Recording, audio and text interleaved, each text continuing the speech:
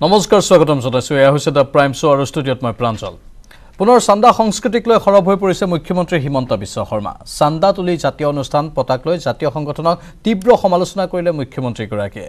চান্দাই কেনেধৰণৰ এক ভয়ংকৰ ৰূপ ধাৰণ কৰিব পাৰে তাৰেই যেন ইংগিত দিছে মুখ্যমন্ত্ৰীগৰাকীয়ে। কিন্তু প্ৰশ্ন বহুত বহুজনৰ মনত এতিয়া উত্থাপন হৈছে। বিশেষকৈ বহু দল সংগঠনে এই ক্ষেত্ৰত নিজৰ প্ৰতিক্ৰিয়া অব্যক্ত কৰিছে।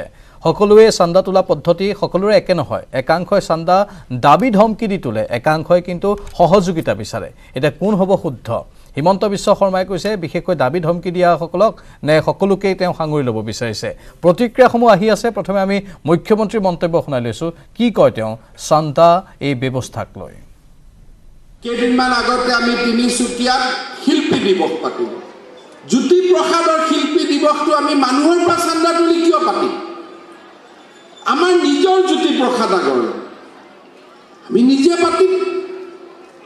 বিষ্ণু ৰাভা দিৱসৰ টকা আমি কিয় বেলেগৰ পৰা ল'ম? আমাৰ বিষ্ণু ৰাভা। আমি অসমীয়া মানুহখিনিয়ে বিষ্ণু ৰাভা দিৱসটো নিজে পাতিব নোৱাৰোঁ নেকি? সৰু কৰি পাতিম কিন্তু সন্মানেৰে সৈতে পাতিম যে এইটো আমাৰ অনুষ্ঠান। সৰু কৰি পাতিম পঞ্চাছজন মানুহ থাকিব লোকেল আৰ্টিষ্ট থাকিব। জুবিন গাৰ্গ নালাগে। কিন্তু আমাৰ বাপতি সাহোন বিহুটো আমি কিয় নিজে পাতিব নোৱাৰোঁ? এইবিলাক পৰিৱেশ কৰোঁতে কৰোঁতে কৰোঁতে কৰোঁতে আমাৰ অসমখন আজি ভাৰতৰ ওপৰত এটা বোজা ধৰণৰ হৈ পৰিছে। সকলো কথাতে কেন্দ্ৰীয় চৰকাৰে টকা নিদিলে আমি চলিব নোৱাৰোঁ। কিন্তু আমাৰ কি নাই? প্ৰাকৃতিক সম্পদ আছে পৰ্যটন উদ্যোগ হ'ব পাৰে কৃষি হ'ব পাৰে উদ্যোগ হ'ব পাৰে। সকলো আমাৰ আছে। দহ বছৰ যদি আমি অসমত কৰ্ম সংস্কৃতিৰ আন্দোলন এটা কৰিব পাৰোঁ আপোনালোকে দেখিব অসমখন ক'ৰবাত গুচি যাব। আজি আমাৰ চৌব্বিছ লাখ মহিলাই যদি মাইক্ৰ' ফাইনেন্সৰ লোন ল'লে এঘাৰ লাখেতো কষ্ট মষ্টত ঘূৰাই থাকিলে। আজি ইয়াত যি আই মাতৃসকল আহিলে তেওঁলোকেতো কষ্ট মষ্টত ঘূৰাই থাকিলে যেনেকৈ নহওক। এনেকুৱা যদি আমাৰ মাজত আদৰ্শ হৈ গৈ থাকে আমি সমাজ পৰিৱৰ্তন কৰিব পাৰিম কেইদিনমান আগতে তিনিচুকীয়াৰ মাৰ্ঘেৰিটাৰ ববী হাজৰিকা বাইদেউক আমি অসম গৌৰৱ বঁটা দিলোঁ। তেনেকুৱা ববী হাজৰিকা যদি গাঁৱে গাঁৱে ওলায় অসমৰ কিমান পৰিৱৰ্তন হ'ব আপোনালোকে চিন্তা কৰক। মোৰ মা আৰু মাটিক যদি মই ভাল পাওঁ অসমত নতুন পৰিৱেশ এটা নিৰ্মাণ কৰিব লাগিব। সম্পূৰ্ণ নতুন পৰিৱেশ এটা যে আমি কাম কৰিম কৰ্ম সংস্কৃতি নিৰ্মাণ কৰিম আৰু মই নিজে চাকৰি বিচৰাতকৈ মই দহজনক চাকৰি দিম মোৰ ব্যৱসায়। মুখ্যমন্ত্ৰীয়ে নতুন পৰিৱেশৰ সূচনা কৰাৰ কথা কৈছে কিন্তু দল সংগঠনে কেনেধৰণে ল'ব? বা শিল্পীসকলে ইয়াক কেনেধৰণে ল'ব? মুখ্যমন্ত্ৰীৰ মন্তব্যৰ পিছতেই প্ৰতিক্ৰিয়া প্ৰকাশ কৰিছে যুৱ প্ৰজন্মৰ হাৰ্টথ্ৰব জুবিন গাৰ্গে।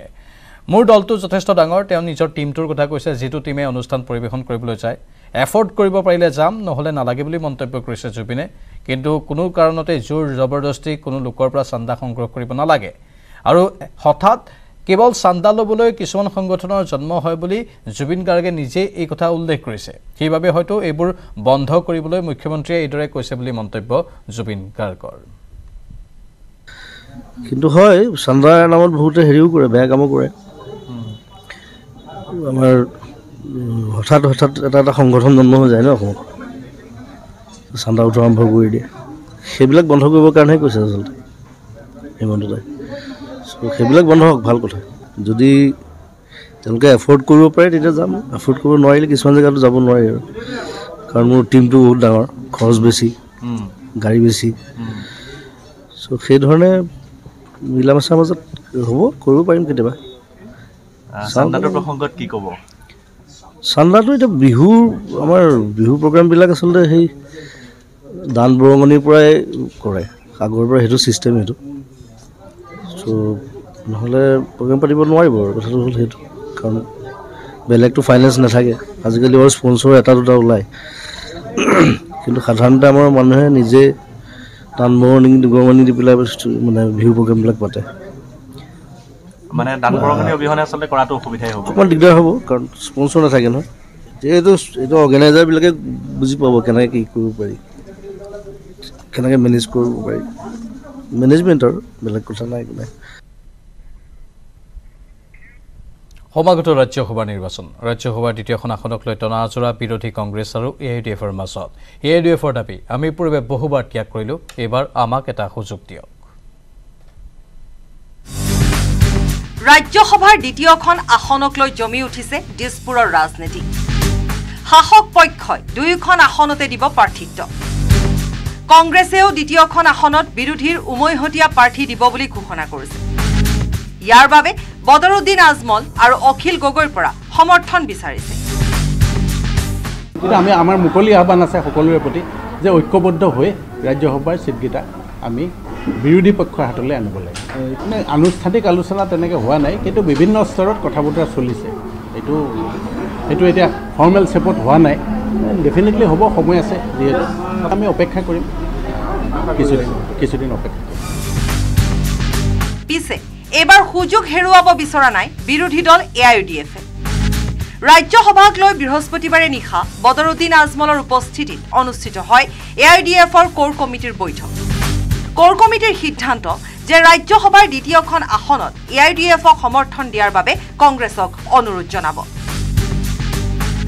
বিগত কেইবাবছৰ আমি ৰাজ্যসভা নিৰ্বাচনত কংগ্ৰেছ দলৰ প্ৰাৰ্থীক সমৰ্থন দিছিলোঁ আৰু ৰাষ্ট্ৰপতি উপ ৰাষ্ট্ৰপতি আৰু অধ্যক্ষ উপাধ্যক্ষ বিভিন্ন নিৰ্বাচনত আমি সদায় কংগ্ৰেছ দলৰ প্ৰাৰ্থীক সমৰ্থন দি আহিছোঁ।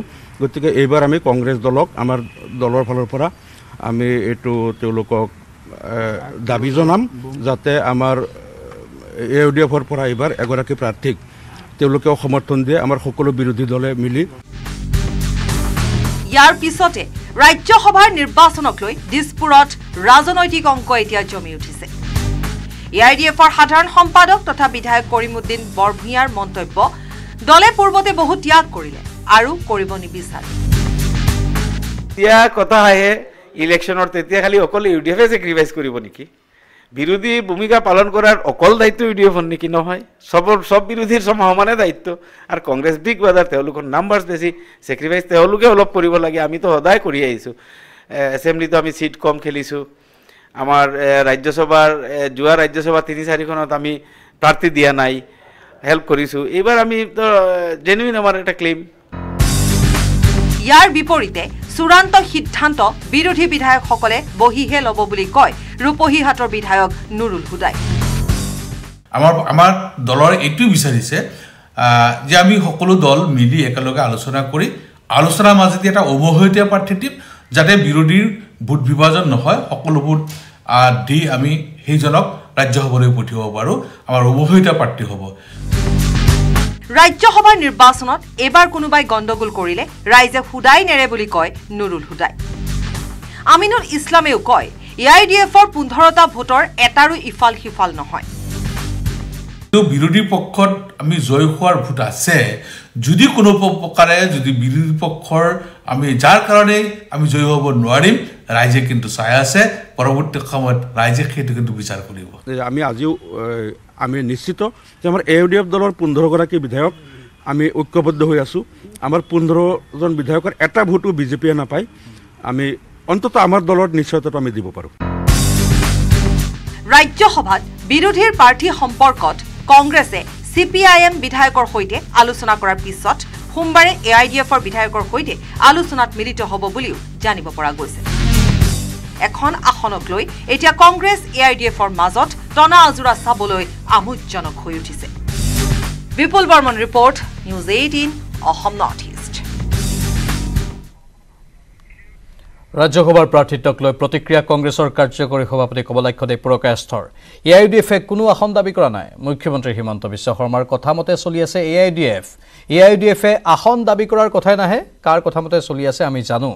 কংগ্ৰেছে প্ৰাৰ্থী দিব বুলি ইতিমধ্যে সিদ্ধান্ত হৈছে। মুখ্যমন্ত্ৰীৰ নিৰ্দেশ নহ'লে এ আই ডি এফে প্ৰাৰ্থী দাবী কৰিব পাৰে বুলি আমি নাভাবোঁ কিন্তু আমি অকলে জয়ী হ'ব নোৱাৰোঁ। সেয়ে এ আই ডি এফৰ সহায় লাগিব বুলি মন্তব্য কমলাক্ষ দেৱ পুৰকায়স্থৰ। আমাৰ মুখ্যমন্ত্ৰীৰ ইনষ্ট্ৰাকশ্যন মতে কামবিলাক চলি আছে আৰু আল্টিমেটলি আপুনি যদি চাই যদি মানে ইউ ডি এফৰ দাবী কৰাৰ কি আছে তাতে আৰু? তাৰমানে কোনে পিছৰ পৰা আয়োগখিনি লগাই আছে এইটোতো আমি গম পাওঁ ইতিমধ্যে। সেইটো কাৰণে আমাৰ ইতিমধ্যে সিদ্ধান্ত হৈছে আৰু সিদ্ধান্ত ক্ৰমে আমি এটা টিকেট দিম। আৰু সিহঁতৰ লগত কথা পাতা কাৰণ আল্টিমেটলি আমিতো অকলে জিকিব নোৱাৰিম। কাৰণ ইউনাইটেডলি আমাৰ কামটো কৰিব লাগিব। সেইটো কাৰণে যদি মানে সিহঁতৰ সদিচ্ছা আছে তেনেহ'লে এটা প্লেটফৰ্মত আহি কিনে কাৰণ আমি এছেম্বলিৰ বাহিৰত ফ্ল'ৰ কৰ্ডিনেশ্যনৰ কাৰণে যেনেকৈ বিজেপিয়ে এটা সিদ্ধান্ত লৈছে যে বি পি এফৰ লগত থাকিব বা বেলেগ বেলেগ হেৰি হেৰি কৰি হেৰি কৰিব ফ্ল'ৰ কৰ্ডিনেশ্যনৰ কাৰণে কিবা সিদ্ধান্ত লৈছে। আমি এনেকুৱা সিদ্ধান্ত লৈছোঁ যে ফ্ল'ৰৰ কৰ্ডিনেশ্যনৰ কাৰণে বা এছেম্বলিৰ ভিতৰত কিবা যদি ৰাইজৰ কাৰণে কিবা কাম কৰিব লগা হয় যদি তেনেহ'লে আমি আণ্ডাৰষ্টেণ্ডিং কৰি কিনে কথা পাতি কিনে আমি কামটো কৰিম। সেইটো কাৰণে ইতিমধ্যে আমাৰ সিদ্ধান্ত হৈছে আমি টিকটটো দিম মানে প্ৰাৰ্থী নিক্ষেপ কৰিম সিহঁতৰ লগত কথা বাৰ্তা পাতি কেনে। যদি সিহঁতে যদি এনেকুৱা কথা কৈ থাকে তেনেহ'লে মোৰ লাগিছে যে সিহঁতে সিহঁতৰ মতে মতে বস্তুটো কৰা নাই। মুখ্যমন্ত্ৰীৰ আমাৰ জ্যেষ্ঠ সাংবাদিক ৰাজু বৰুৱা আছে ফোন লাইনত। ৰাজু আপুনি কমলাক্ষদেৱ পুৰকাষ্টৰ ভাষ্য শুনিলে লগতে আমি আন আন যিসকল কংগ্ৰেছ আৰু এ আই ডি এফৰ নেতাৰ ভাষ্যও শুনিলোঁ। কিন্তু বিৰোধী শিবিৰ ঐক্যবদ্ধ হোৱাৰ ক্ষেত্ৰত যে ডাঙৰ প্ৰশ্নবোধক চিন এটা এই ক্ষেত্ৰত অৱতাৰণা হৈছে। ৰাজ্যসভা নিৰ্বাচনৰ আগে আগে।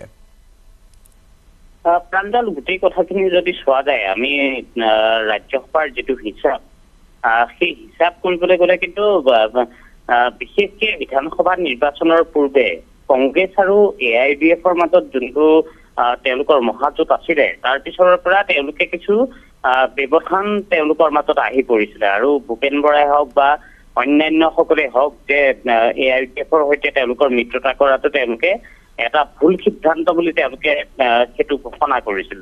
আৰু অখিল গগৈৰ ক্ষেত্ৰতো যদি আমি চাওঁ তেনেহলে তেওঁ যিহেতু ৰাজ্যৰ দলৰ প্ৰতিনিধি অখিল গগৈ শিৱসাগৰৰ বিধায়কগৰাকীয়েও বিভিন্ন সময়ত কৈ আছে যে মহাজোঁটত এ আই ডি এফক চামিল কৰাটো এটা ভুল সিদ্ধান্ত আছিল। গতিকে এই গোটেই প্ৰসংগটোত যদি আমি ভালকৈ চোৱা যায় তেনেহলে ফলাবাহ কিন্তু কেতিয়াও জোৰা দিব নোৱাৰি।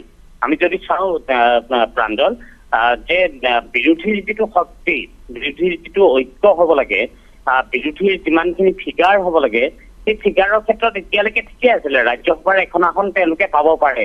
কিন্তু এতিয়ালৈকে এ আই ডি এফও কিন্তু আজিৰ দিনটোতেও আমি যদি চাওঁ বা অন্যান্য সময়তো চাওঁ তেনেহলে প্ৰত্যেক সময়তে তেওঁলোকৰ বিধায়কসকলে এটা কথা স্পষ্ট কৰি কৈ আহিছে যে তেওঁলোকে কংগ্ৰেছৰ সৈতে তেওঁলোক চামিল হ'ব বিচাৰে কিন্তু এ আই ডি এফৰ প্ৰতিনিধি হ'ব লাগিব। গতিকে এই বিষয়টো যথেষ্ট গুৰুত্বপূৰ্ণ এটা বিষয় কাৰণ তেওঁলোকৰ সেইটো দাবী আছে। তেওঁলোকে নৈতিকভাৱে এটা কথা কৈছে যে তেওঁলোকৰ এজন বিধান ৰাজ্যসভাৰ প্ৰতিনিধি এ আই ডি এফক লাগে। গতিকে এই ক্ষেত্ৰত কংগ্ৰেছেও সেই কথা মানি লোৱা নাই। আৰু কংগ্ৰেছৰ ফালৰ পৰাও বাৰম্বাৰ কৈ থকা হৈছে যে বিৰোধী ঐক্য হ'ব লাগিব। কিন্তু এই ঐক্য যোনটোৰ কথা সেই কথাটোত কিন্তু খেলি মেলি কিছু আহি পৰিছে। গতিকে মই বাৰম্বাৰ সেই কথাটোৱেই ক'ব বিচাৰিম প্ৰাঞ্জল যে ফলাবাহ আচলতে জোৰা দিব নোৱাৰি। ৰাজু অত্যন্ত গুৰুত্বপূৰ্ণ কথা কৈছে আপুনি। ফলাবাহ জোৰা দিব নোৱাৰে। কিন্তু এতিয়া কংগ্ৰেছৰ শিবিৰৰ তৰফৰ পৰা এটা অভিযোগ উত্থাপন কৰিছে যে মুখ্যমন্ত্ৰী হিমন্ত বিশ্ব শৰ্মাৰ কথা মতেহে এ আই ডি এফে এইবোৰ নাটকৰ সৃষ্টি কৰিছে হেনো। চাওক সেইখিনিতে মই কথাটো কৈছো যে কংগ্ৰেছ আৰু এ আই টি এফৰ মাজত যোনটো ঐক্যতা আহিব লাগিছিলে এতিয়ালৈকে তেওঁলোক একতাৰ মাজলৈ আহিব লাগিছিলে সেই একতাটো অহা নাই। ক'ৰবাত কংগ্ৰেছে অভিযোগ দিছে ক'ৰবাত এ আই ডি এফে অভিযোগ দিছে আৰু এ আই ডি এফৰ বিধায়কসকলে বিশেষকে আমি যদি বৰাকৰ বিধায়কসকলক চাওঁ এ আই ডি এফৰ তেওঁলোকেও দাবী কৰি আহিছে যে কংগ্ৰেছ আজিলৈকে ডুবন্ত নাও। গতিকে এনেকুৱা ধৰণৰ প্ৰসংগত তেওঁলোকৰ মাজত এটা একতা আহিব আহ, সেই কথা ক'ব নোৱাৰি। কাৰণ আমিনুল ইছলামেও আজি কৈছে যে তেওঁলোকে এ আৰ ডি এফৰ পোন্ধৰজন যি বিধায়ক আছে তেওঁলোকে সকলোৱে ভোট একে জেগাতে তেওঁলোকে দিব বিজেপিৰ বিৰুদ্ধে তেওঁলোকে ভোট দিব।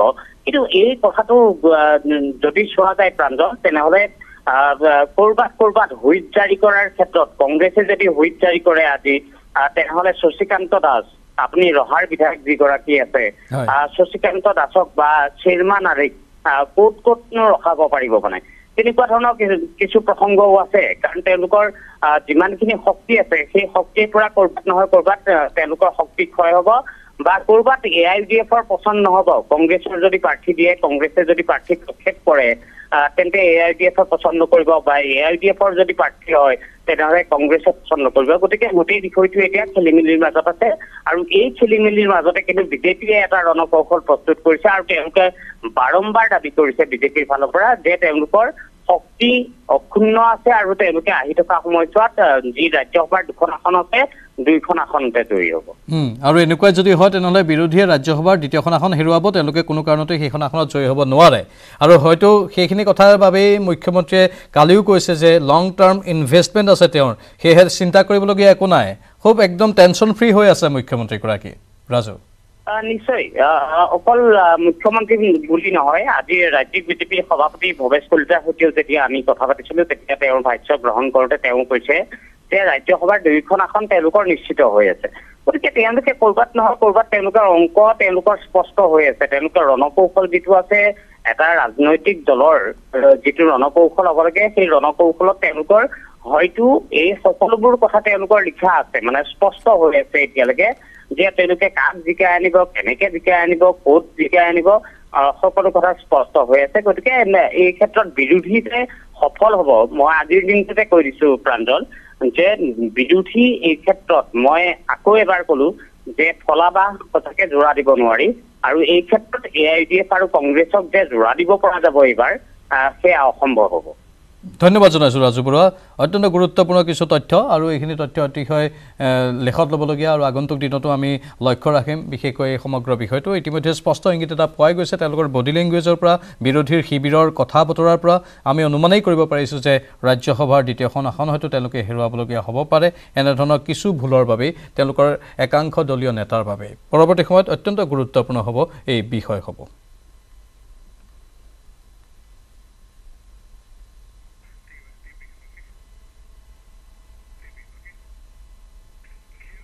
সত্ৰৰ ভূমি বেদখলমুক্ত কৰাৰ ক্ষেত্ৰত বিধায়ক শ্বেৰমান আলীয়ে কৰা প্ৰৰোচনামূলক মন্তব্য আৰু সত্ৰৰ সীমা নিৰ্ধাৰণকাৰী খুটাত গুৰ মৰা কাৰ্যক লৈ এতিয়া সৰব হৈ পৰিছে শাসকীয় পক্ষ। শ্বেৰমানক শীঘ্ৰে গ্ৰেপ্তাৰ কৰাৰ দাবী ৰাজ্যিক বিজেপিৰ সভাপতি ভৱেশ কলিতাৰ।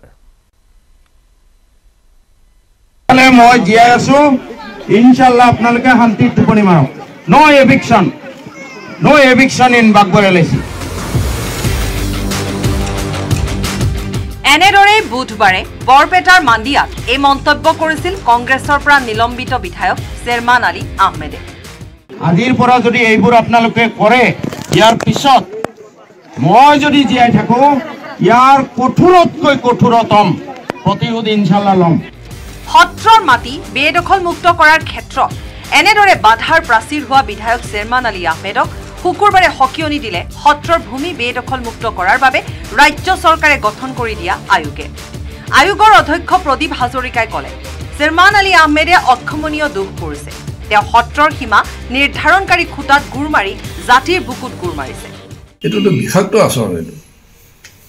এইটো একেবাৰে গ্ৰহণীয় আচৰণ নহয়। তেওঁ তাত গৈ পেলাই তাত প্ৰশাসনে পুতি দিয়া খুঁটিটোত গোৰ মাৰি পেলাই যিটো দাম্ভিকতা তেখেতে প্ৰকাশ কৰিলে এইটোতো গোটেই সমাজখনৰ কাৰণে গোটেই দেশখনৰ কাৰণে গোটেই জাতিটোৰ কাৰণে গোটেই জনসাধাৰণৰ কাৰণে এইটো এটা অতি সাংঘাতিক কথা হৈছে আৰু এইটো এটা অক্ষমনীয় দোষ তেখেতে কৰিছে।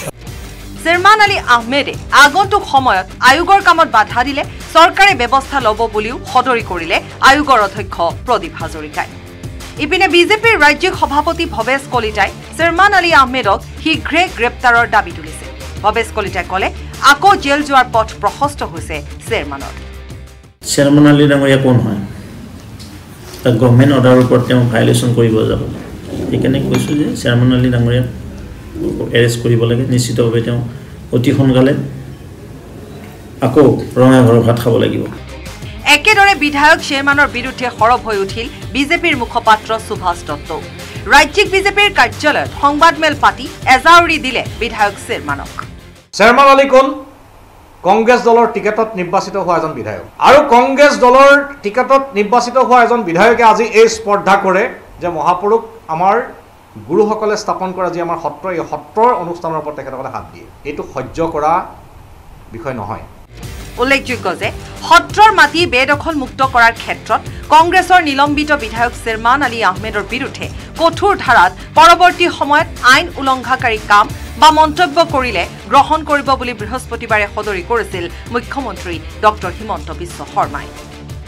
এতিয়া চেয়াৰমান আলীয়ে হওক বা এনেকুৱা যিমান মানুহ আছে তাক এনেকৈ এৰেষ্ট কৰিব লাগে তেখেতক বা ব্যক্তিক এনেকৈ এৰেষ্ট কৰিব লাগে যে দুই তিনিমাহ ওলাই আহিব নোৱাৰে। অকণমান তেওঁ যিটো কৈছে যে কোনোবাই এভিকশ্যন কৰিব মই নিদিওঁ যেতিয়া পুলিচ এভিকশ্যন কৰিব যাব তেওঁ বাধা দিব তেতিয়া গোচৰটো ভাল হ'ব। ৰাজু বৰুৱাৰ সৈতে বিজু কুমাৰ ডেকাৰ report news eighteen Assam north.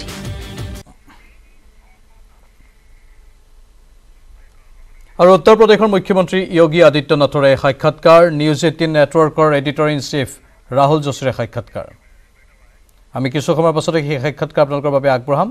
কিন্তু এই খবৰটো আমি জনাই আছোঁ যে শ্বেৰৱানে অক্ষমনীয় দুখ কৰিছে। ইতিমধ্যে প্ৰদীপ হাজৰিকাৰ সেই মন্তব্য আপোনালোকে শুনিলে। আমাৰ এই প্ৰতিবেদন আপোনালোকে চালে। আৰু তীব্ৰ প্ৰতিক্ৰিয়াৰ সৃষ্টি হৈ আছে আৰু তাৰ মাজতে জুবিন গাৰ্গেও প্ৰতিক্ৰিয়া প্ৰকাশ কৰিছে। আৰু বিধায়ক শ্বেৰমানক শীঘ্ৰে গ্ৰেপ্তাৰ কৰাৰো দাবী উত্থাপন কৰিছে ভৱেশ কলিতাই। শ্বেৰমানে অক্ষমনীয় অপৰাধ কৰিছে সেয়েহে তেওঁক গ্ৰেপ্তাৰ কৰিব লাগে। যিহেতু সত্ৰৰ ভূমি দখল কৰি আছে একাংশ সন্দেহজনক লোকে। তাৰ পাছতো সত্ৰৰ ভূমি দখলমুক্ত কৰিবলৈ কোনো প্ৰয়াস চলোৱা নাই। তাৰ বিপৰীতে তেওঁ প্ৰৰোচিত হৈ কৰিছে সেই লোকসকলক।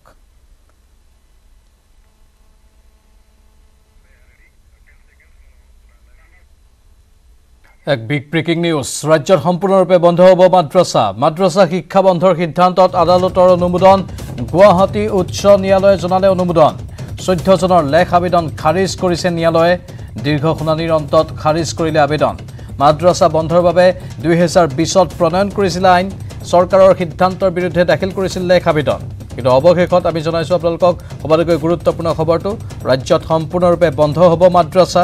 মাদ্ৰাছা শিক্ষা বন্ধৰ সিদ্ধান্তত অৱশেষত আদালতে অনুমোদন জনাইছে। গুৱাহাটী উচ্চ ন্যায়ালয়ে জনাইছে অনুমোদন। চৈধ্যজনৰ লেখ আবেদন খাৰিজ কৰিছে ন্যায়ালয়ে। দীৰ্ঘ শুনানিৰ অন্তত খাৰিজ কৰিলে আবেদন। আৰু এতিয়া ৰাজ্যত সম্পূৰ্ণৰূপে বন্ধ হ'ব মাদ্ৰাছা। মাদ্ৰাছা শিক্ষা বন্ধৰ সিদ্ধান্তত আদালতে অনুমোদন জনাইছে। গুৱাহাটী উচ্চ ন্যায়ালয়ে জনাইছে অনুমোদন।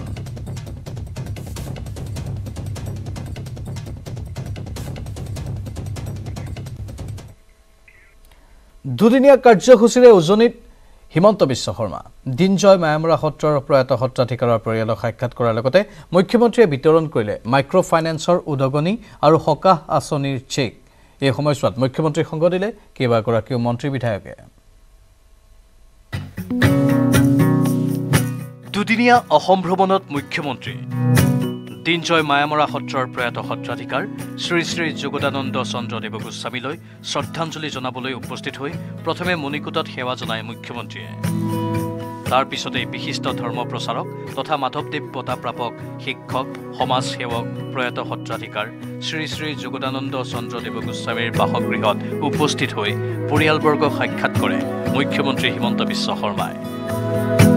উল্লেখযোগ্য যে ষোল্ল জানুৱাৰীত বাৰ্ধক্যজনিত কাৰণত ছিয়ান্নব্বৈ বছৰ বয়সত ইহলীলা সম্বৰণ কৰিছিল সত্ৰাধিকাৰগৰাকীয়ে। জান সত্ৰৰ সত্ৰাধিকাৰ যোগাদন গোস্বামীৰ পৰলোক বা বিয়োগে সমগ্ৰ ৰাজ্যখনতে শোকৰ ছাঁ পেলাইছে। তেখেতৰ মৃত্যুত আমি আমাৰ সমাজৰ এগৰাকী পাতস্মৰণীয় ব্যক্তি আৰু আমাৰ এগৰাকী আধ্যাত্মিক গুৰুক আমি হেৰুৱালোঁ। তেখেতৰ আদৰ্শই আমাৰ সমগ্ৰ অসমীয়া জাতিটোকে প্ৰেৰণা আৰু পথ দেখুৱাই যাব তাক মই অন্তঃকৰণেৰে বিশ্বাস কৰোঁ।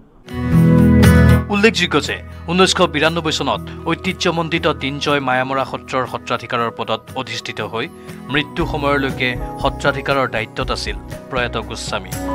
কেৱল সত্ৰ পৰিচালনাতেই সীমাবদ্ধ নাথাকি সমাজৰ হিতৰ বাবে তেওঁ কৰিলে জীৱন উচৰ্গা দুবাৰকৈ অসম সত্ৰ মহাসভাৰ সভাপতি পদতো অধিষ্ঠিত হৈছিল তেওঁ। মুখ্যমন্ত্ৰীগৰাকীক এই কাৰ্যসূচীত সংগ দিয়ে কৃষিমন্ত্ৰী অতুল বৰা বিধায়ক বলিন চেতিয়া বিধায়ক প্ৰশান্ত ফুকন আৰু বিধায়ক পোনাকন বৰুৱাই। আজি মায়ামৰা দিনজান সত্ৰত আহি তেখেতৰ মৃত্যুত গভীৰ শোক প্ৰকাশ কৰিলোঁ আৰু তেখেতক আমাৰ অসমবাসী ৰাইজৰ হৈ গভীৰ শ্ৰদ্ধাঞ্জলি জ্ঞাপন কৰিলোঁ। তেখেতৰ পৰিয়ালৰ সদস্যসকলৰ সৈতে কথা বতৰা পাতি আমাৰ আন্তৰিক সমবেদনা জনালোঁ। মায়েমৰা দিনজান সত্ৰতো সেৱা যাচি আমাৰ অসমৰ ৰাইজৰ মংগল কামনা কৰিলোঁ। দিনজয় সত্ৰৰ পিছতেই মুখ্যমন্ত্ৰী হিমন্ত বিশ্ব শৰ্মাই দিছাম সত্ৰ পৰিদৰ্শন কৰে আৰু তাৰ পিছতেই তিনিচুকীয়াৰ জানমুখ খেলপথাৰত মাইক্ৰ' ফাইনেন্সৰ উদগনি আৰু সকাহ আঁচনিৰ চেক বিতৰণ কৰে।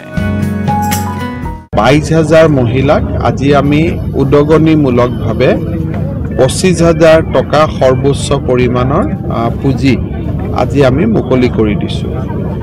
এতিয়া অসমৰ মাত্ৰ আঠখন জিলাত বাকী থাকিলে প্ৰথম শ্ৰেণীৰ যিসকল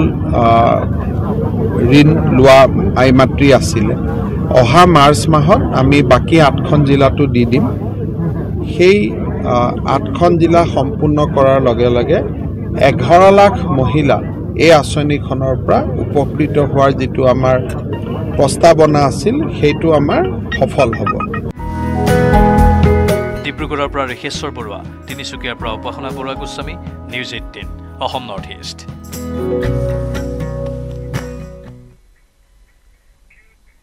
আৰু বাতৰি শেষ অংশলৈ যোৱাৰ পূৰ্বে পুনৰ সময় হৈছে চমু বাণিজ্যিক বিৰতিৰ।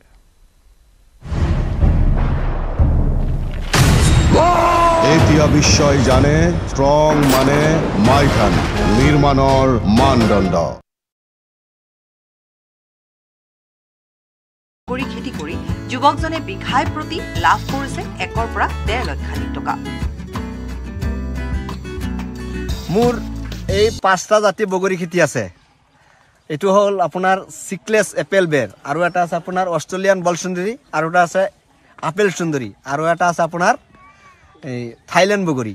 তে সেইটো বাগানটো মোৰ তিনি বছৰ হৈ গ'ল পুৰণা এই বছৰ লৈ দুবছৰ দুই খাট খালোঁ বহুত প্ৰফিট আছে। আপোনাৰ আৰু এইটো প্ৰথম নতুন বাগান হয়।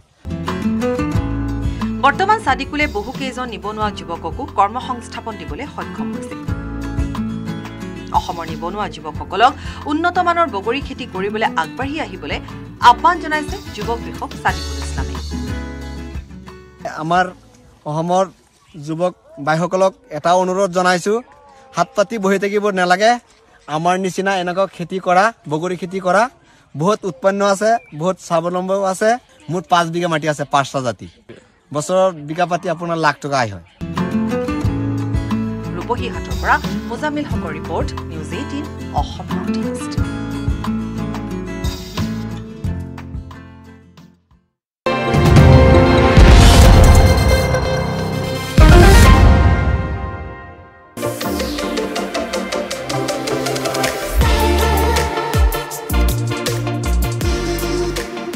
ৰাষ্ট্ৰীয় শিশু সৌন্দৰ্য প্ৰতিযোগিতাত উজলি মৰিয়নিৰ কদমানী আইচেংফা। মৰিয়নিৰ নকোচাৰীৰ এইগৰাকী কদমানীয়ে ৰাষ্ট্ৰীয় পৰ্যায়ৰ শিশু সৌন্দৰ্য প্ৰতিযোগিতাত অংশগ্ৰহণ কৰি খিতাপ অৰ্জনেৰে যোৰহাট জিলাৰ লগতে মৰিয়নিৰ নকোচাৰীলৈ গৌৰৱ কঢ়িয়াই আনিছে। মাত্ৰ তিনি বছৰ ছমাহ বয়সতেই আইচেংফা ফুকন নামৰ কণমানিগৰাকীয়ে যোৱা তেইছ জানুৱাৰীত গুৱাহাটীৰ Pragjyotish I T A centre প্ৰেক্ষাগৃহত ইণ্ডিয়া ইণ্টাৰনেশ্যনেল ষ্টাৰ আইকন শীৰ্ষক সৌন্দৰ্য প্ৰতিযোগিতাত অংশগ্ৰহণ কৰি miss kids India international universe উইনাৰৰ খিতাপ অৰ্জন কৰিবলৈ সক্ষম হৈছে।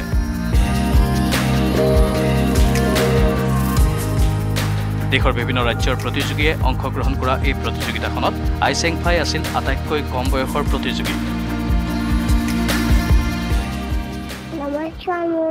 আৰ্যম্পা ফুকন মোৰ আশীৰ্বাদ আৰু মৰম আৰু আশীৰ্বাদ কৰিব আৰু ধন্যবাদ জৰিয়াই ৰাখক কি হ'ব ডাঙৰ হ'লে মডেলিং কৰিব মডেলিং কৰিম মডেলিং কৰিবা এতিয়া তুমি যে এইটো ইমান ধুনীয়াকৈ পালা এইটো কেনেকুৱা লাগিছে তোমাৰ এতিয়া ভাল লাগিছে আইচেংফাই মঞ্চত প্ৰদৰ্শন কৰা পাৰদৰ্শিতাই বিচাৰকৰ দৃষ্টি কাঢ়িবলৈ সক্ষম হোৱাৰ লগতে কেইবাটাও বিশেষ খিতাপ অৰ্জন কৰিবলৈ সক্ষম হয়।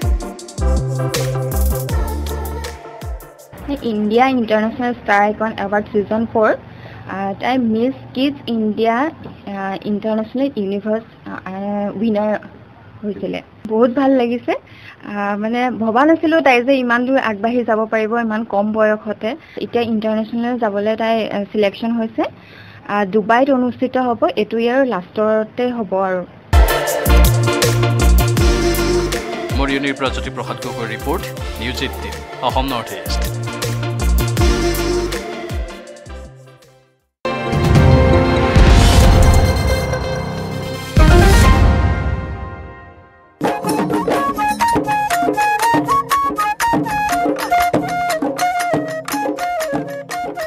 ফাগুন মাহৰ প্ৰথমটো বুধবাৰত অনুষ্ঠিত হয় ভূমিপুত্ৰ মিচিং জনগোষ্ঠীয় লোকসকলৰ কৃষিভিত্তিক উৎসৱ আলি আই লৃগাং সেই উপলক্ষে গহপুৰৰ প্ৰান্তে প্ৰান্তে এতিয়া মিচিং ৰাইজৰ মাজত দেখা গৈছে আলি আই লৃগাঙক আদৰাৰ ব্যাপক উৎসাহ আনন্দ।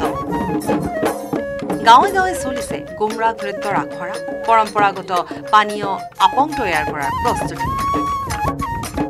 গহপুৰৰ ৰজাবাৰীত শতাধিক কণ কণ শিশুৰ পৰা আৰম্ভ কৰি যুৱক যুৱতীলৈকে ব্যস্ত হৈ পৰিছে গুমৰাগ নৃত্যৰ আখৰাত অনিতমৰ সুৰত কঁকাল ঘূৰাই নাচিছে কণেঙে।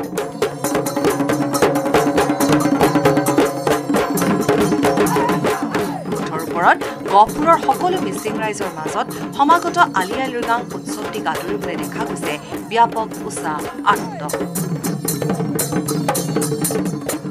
এতিয়া কলা শিমলু ফুলাৰ বতৰ। যিহেতু ফাগুন মাহৰ প্ৰথমটো বুধবাৰে মিচিং ভূমিপুত্ৰ জনগোষ্ঠীয় লোকসকলৰ মাজত অনুষ্ঠিত হয় কৃষিভিত্তিক উৎসৱ আলি আই লিগাং আৰু তাৰ বাবে এতিয়া গহপুৰৰ প্ৰান্তে প্ৰান্তে মিচিং ৰাইজৰ মাজত চলিছে ব্যাপক প্ৰস্তুতি। পৰ আপং বনোৱাৰ প্ৰস্তুতিৰ সমান্তৰালকৈ গুমৰাগ নৃত্যৰ প্ৰশিক্ষণ চলিছে কিয়নো আলি আই লিগাং উৎসৱৰ দিনা গুমৰাগ নৃত্য পৰিৱেশন হ'ব গহপুৰৰ মিচিং ৰাইজৰ মাজত। আৰু এই মুহূৰ্তত মোৰ সতীৰ্থই দেখাব মই গহপুৰ ৰজাবাৰীত উপস্থিত আছোঁ আৰু এনেদৰে গুমৰাগ নৃত্য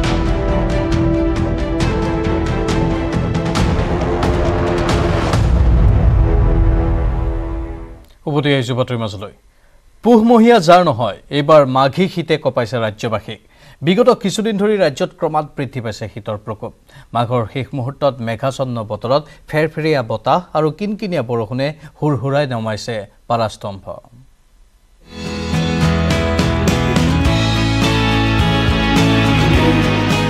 বৃহস্পতিবাৰে ষোল্ল ডিগ্ৰী চেলচিয়াছ শুকুৰবাৰে নামিল তেৰ ডিগ্ৰী চেলচিয়াছলৈ ৰাজ্যত প্ৰচণ্ড শীত কম্পমান ৰাজ্যবাসী ঠাণ্ডা ঠাণ্ডা প্ৰচণ্ড ঠাণ্ডা। মানুহে ভাবিবই পৰা নাছিল মাঘৰ শেষত এনেকৈও পৰিব পাৰে শীত। ডাৱৰীয়া আকাশ কিনকিনীয়া বৰষুণ ফেৰফেৰীয়া বতাহ কপাই তুলিছে প্ৰতিজনৰে হাৰ। যাক কোৱা হয় হাৰ কপোৱা জাৰ। ৰাজ্যৰ বহু গ্ৰামাঞ্চল আচন্ন কৰি ৰাখিছে ডাঠ কুঁৱলীয়ে তাৰ মাজতে পৰিছে কিনকিনীয়া বৰষুণ। এনে প্ৰচণ্ড শীতত স্থবিৰ প্ৰায় জনজীৱন। বতৰ বিজ্ঞানৰ তথ্য মতে শুকুৰবাৰৰ দিনটোত ৰাজ্যৰ বিভিন্ন জিলাৰ তাপমাত্ৰা এনেধৰণৰ। তেজপুৰৰ উষ্ণতা ন্যূনতম বাৰ ডিগ্ৰী চেলচিয়াছ যোৰহাটৰ উষ্ণতা ন্যূনতম বাৰ ডিগ্ৰী চেলচিয়াছ শিলচৰৰ উষ্ণতা ন্যূনতম ষোল্ল ডিগ্ৰী চেলচিয়াছ ধুবুৰীৰ উষ্ণতা ন্যূনতম তেৰ ডিগ্ৰী চেলচিয়াছ নগাঁৱৰ উষ্ণতা ন্যূনতম তেৰ ডিগ্ৰী চেলচিয়াছ নলবাৰীৰ উষ্ণতা ন্যূনতম তেৰ ডিগ্ৰী চেলচিয়াছ কোকৰাঝাৰৰ উষ্ণতা ন্যূনতম তেৰ ডিগ্ৰী চেলচিয়াছ শিৱসাগৰৰ উষ্ণতা ন্যূনতম বাৰ ডিগ্ৰী চেলচিয়াছ শ্বিলঙৰ উষ্ণতা ন্যূনতম সাত ডিগ্ৰী চেলচিয়াছ ছিকিমৰ উষ্ণতা ন্যূনতম দুই ডিগ্ৰী চেলচিয়াছ আৰু গুৱাহাটীৰ উষ্ণতা ন্যূনতম তেৰ ডিগ্ৰী চেলচিয়াছ এই হাড় কপোৱাৰ জাৰৰ পৰা ৰক্ষা পোৱাৰ এটাই উপায় জুই। গতিকে একৰে জুই জ্বলাই গা গৰম কৰিছে ৰাজ্যবাসীয়ে। দৈনন্দিন কাম কাজ এৰি জুই পুৱাই বহুতে লৈছে শীতৰ আমেজ। গুৱাহাটী মহানগৰীতো প্ৰচণ্ড শীত প্ৰবাহ ফলত যান্ত্ৰিক মহানগৰীত কমিছে মানুহৰ সমাগম আজি কালি নহয় ফেব্ৰুৱাৰীৰ মাজভাগলৈকে ৰাজ্যত অব্যাহত থাকিব ঠেটুৱাই লগা জাৰ Uh, we are expecting moderate rain is very likely to occur at most places over Arunachal Pradesh, Assam, Meghalaya, Nagaland, Manipur, Mizoram, and Tripura. Further, the fall in day temperature uh, by about 4 to 5 degrees Celsius and below normal by uh, 5 to 6 degrees Celsius over Arunachal Pradesh, Assam, Meghalaya, Nagaland, Manipur, Mizoram, and Tripura. শনিবাৰে অধিক বৃদ্ধি পাব শীতৰ প্ৰকোপ। শিল বৰষুণ অহাৰো আছে সম্ভাৱনা। প্ৰকোপ বৃদ্ধি পালেও শীত শীতে অসন্তুষ্টি প্ৰকাশ কৰাতকৈ শীতে দিয়া আমেজ লোৱাটোৱে শ্ৰেয়। Bureau' report news eighteen Assam north east.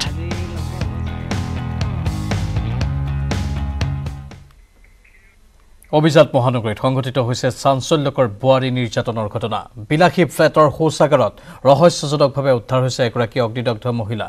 এই শিহৰণকাৰী ঘটনাৰ পিছতেই আৰক্ষীয়ে গ্ৰেপ্তাৰ কৰিছে ভুক্তভোগী মহিলাগৰাকীৰ স্বামীক। মহানগৰীৰ মাজমজিয়াত দিন দুপৰতে ভয়ংকৰ ঘটনা। বিলাসী ফ্লেটৰ শৌচাগাৰত ৰহস্যজনকভাৱে জীৱন্তে অগ্নিদগ্ধ হ'ল মহিলা। সংকটজনক অৱস্থাত চিকিৎসালয়ত ভৰ্তি নিকিতা আগৰৱালা খেমকা নামৰ মহিলাগৰাকী।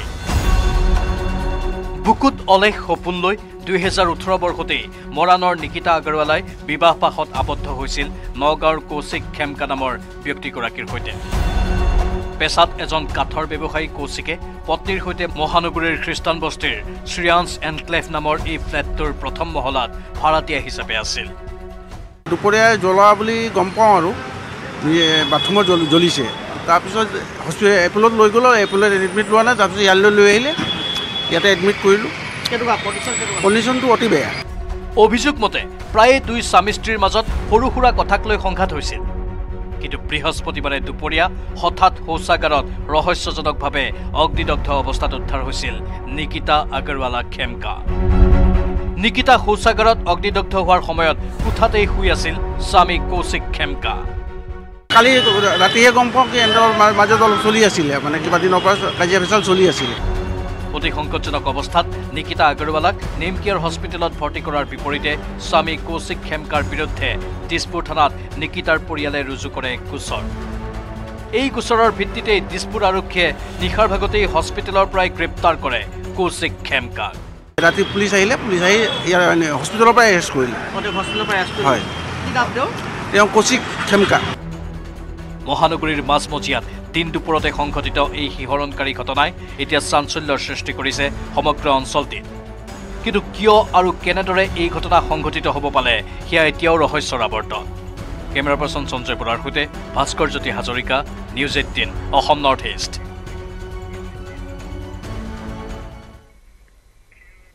শুকুৰবাৰে পুৱাই নগাঁও ৰণথলীত লাগিল হাহাকাৰ। পলিথিনেৰে মেৰিয়াই থোৱা অৱস্থাত দুটা বোমা উদ্ধাৰৰ পিছতেই অঞ্চলজুৰি বিৰাজ কৰে আতংকময় পৰিৱেশে। কিন্তু কোনে কিয় ৰণথলীত লুকুৱাই ৰাখিছিল এই বোমা?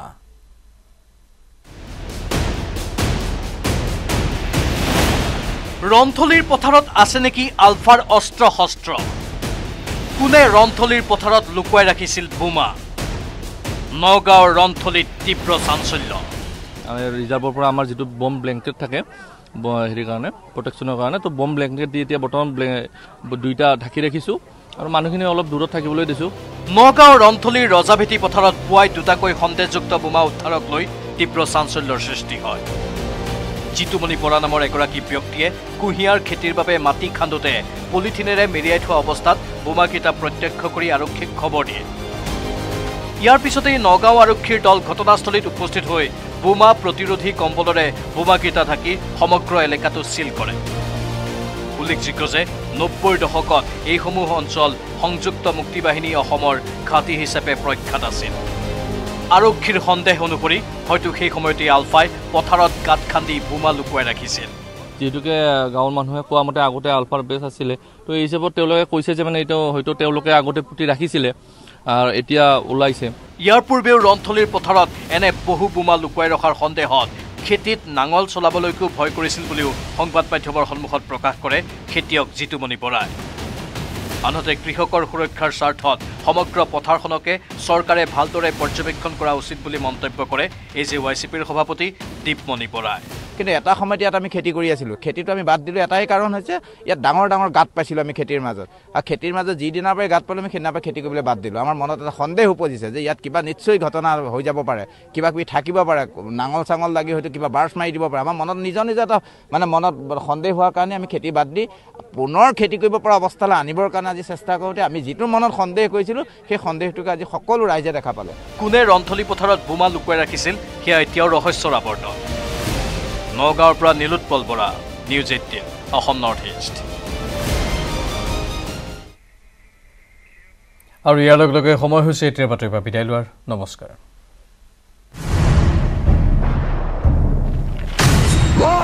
এতিয়া বিশ্বই জানে ষ্ট্ৰং মানে মাইথান নিৰ্মাণৰ মানদণ্ড।